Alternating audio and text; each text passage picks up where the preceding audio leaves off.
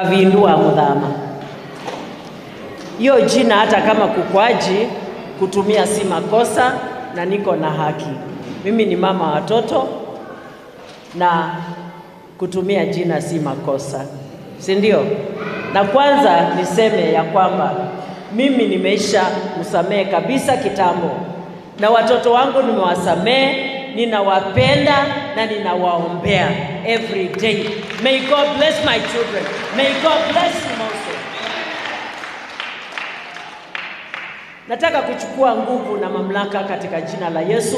Najua kuna nguvu katika maneno, na najua watoto, watu wameongea maneno mengi kuwahusu,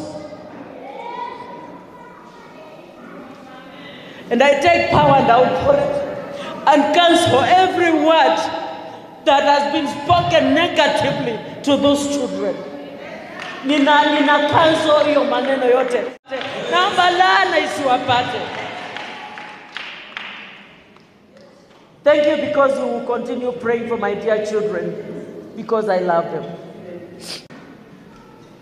Huu mzee asitukanwe, apewe heshima mudhama na asitukanwe na mtu yoyote.